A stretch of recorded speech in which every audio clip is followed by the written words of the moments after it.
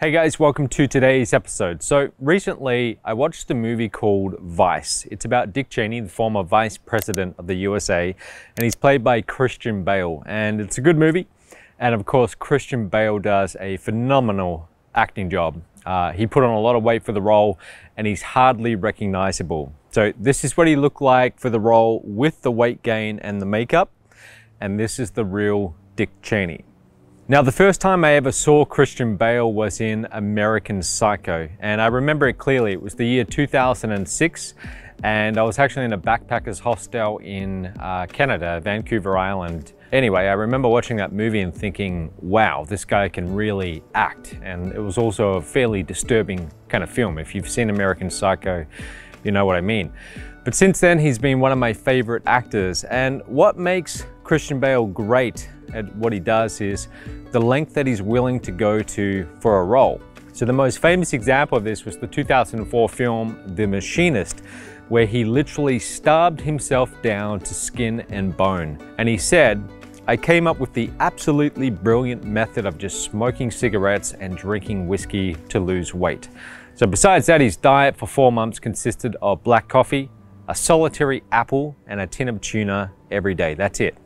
The 54 kilogram final weight that he got down to, reportedly it wasn't enough for him. He was aiming to get down to just 45 kilograms, but the film's producers stopped him for health reasons.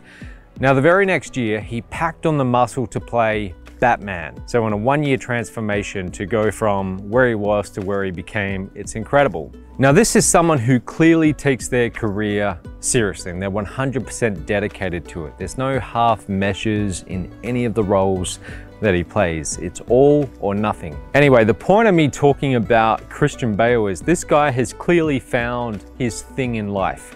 And not everyone finds their thing. Not everyone finds a career that they can completely dedicate themselves to. And it's something that you should never really stop looking for because when you have it, now you've got real purpose and no challenge can keep you permanently down. Uh, overall, you're mostly optimistic about your future and you mostly enjoy the time that you're at work, which it's one third of your life. It's a lot of time. So many people are staying in careers which just make them miserable and that's sad. And I get why they might do it temporarily. Maybe they just need the money, maybe it's the pandemic, or the role's a stepping stone to get to where they really want to go. But if you're showing up to a job year after year after year that you actually hate, that's just no way to live your life. A big part of the reason why I started Strive was so that people could learn new job skills to change the direction of their career to something that they're actually passionate about. The main focus these next few months for me is going to be focusing on the career skills. We want to get a lot more courses for the career skills and we also want to build in certifications where you can actually complete these tests, get a certificate to verify that you actually now have these job ready skills and you can put that on your resume or you can put that online. So I'm really focused right now on getting people for uh, creative kind of content, whether it's video, whether it's image, anything to do with creative content that companies can use online. And if you have those skills, you can now get work at those companies. We're also building a course on project management in a few weeks. That's a job that will always be in demand. Your ability to start a project and manage it through all the different stages to the very end, whether that's managing a team of people as well. If you have that skill, companies, they're, they're always gonna value you.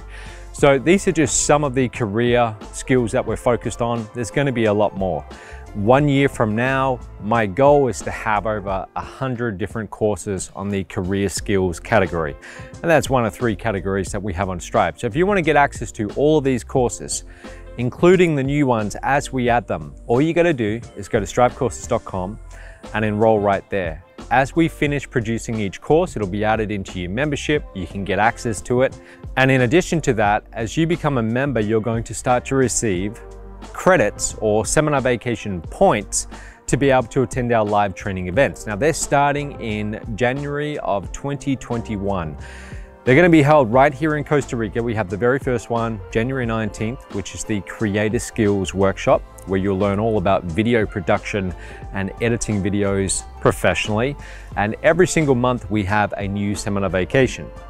Now the way it works is you only need six seminar vacation points to be able to attend any of them and they each go for seven days, six nights, all inclusive for two people. So you get those six points and you get to pick which one you want to go to and then you just show up. Okay, so if you want to get access to all of that, go to strivecourses.com, check it out. But regardless, I hope you find your passion in life for your career. If you haven't found it, keep looking for it. Join Strive, go through all the different courses, and you might find a skill that you never thought you would enjoy, but you really become passionate about it and you can pivot in your career. So get started today, and I'll see you tomorrow.